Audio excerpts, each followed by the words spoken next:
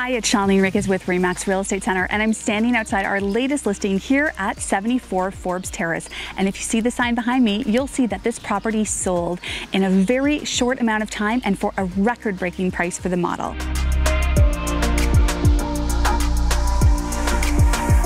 We had a limited amount of time to get the property on the market. We had it professionally staged, and our award winning media team totally knocked it out of the park with video, professional photo, and a 3D walkthrough.